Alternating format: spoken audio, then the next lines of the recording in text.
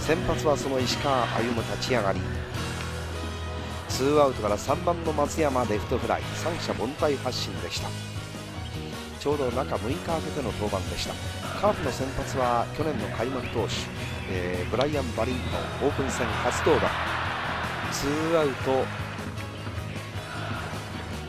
ゲッツーでまずゼロに抑えます。そして3回の表です。カープワンアウト。この辺りから石川の腕が振れ始めます。そして白浜サードゴロ。だいぶ良くなってきました。カープとそれからシンカースライダーのコンビネーション。クルーズもナイスプレー。3回の裏ロッテの攻撃。ワンアウト一塁。バッターは今日スタメンの岡田。レフトの左へ。これがフェアゾーンいっぱい。ロングヒット二塁打。そしてワンアウト満塁から根本のこの打球ショートよく追いついたんですが内野安打タイムリー。1点を先行はロッテ。なお一塁三塁。バッターは角中。結果を出したいところ。粘って粘って右中間を破ります。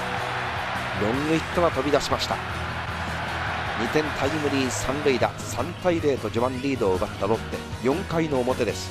カープツーアウトランナー一塁二塁。ところがここで石川がバッテリーミスワイドピッチ。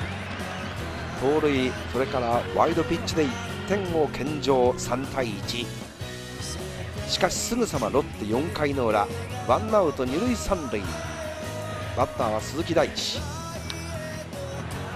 高々とレフトへ。いやライトへ。これが犠牲フライとなって1点を追加4対1です。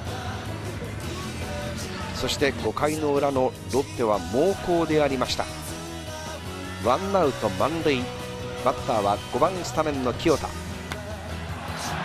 レフトへライナー。レフト岩本追いつけのグラブから白球がこぼれてこれが記録タイムリーヒット1点追加5対1さらに満塁。大松も粘った後センター返し。うまく拾うように技ありのバッティング。2点タイムリーで7対1ここでバリントン降板。バリントンは5回を投げ切ることができませんでした。なお代わったピッチャー川内。満塁と攻めるロッテ。鈴木大地。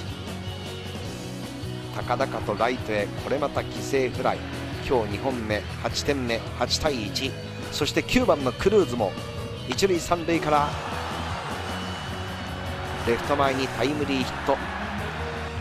9対1になりました。後半に入った6回の表5回までワンヒットピッチングの石川だったんですがランナー1人背負って3番の松山がツーランホームラン。初めてプロの洗礼を浴びた石川であります。9対3そしてカープツーアウトランナー2塁から宮本。ホームランを打たれた後ちょっとヒットが続いた石川だったんですが結局3失点という内容でした。7回の裏ロッテの攻撃はピッチャーは伝統の市岡バッターは大松。大松もタイムリーヒット今日大松3安打猛打賞。この後クルーズにもタイムリーヒットが生まれて10対3そして終盤に入った8回長川オープン戦初登板。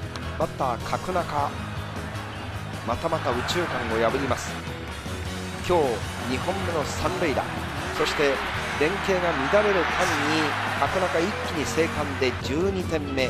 12対3あとは9回の表ですが西野がマウンドに上がりランナー二塁一塁も白浜をセンターフライに打ち取ってゲームセット、えー、ロッテ今シーズンオープン戦最多得点の16安打12得点という数字で圧勝であります。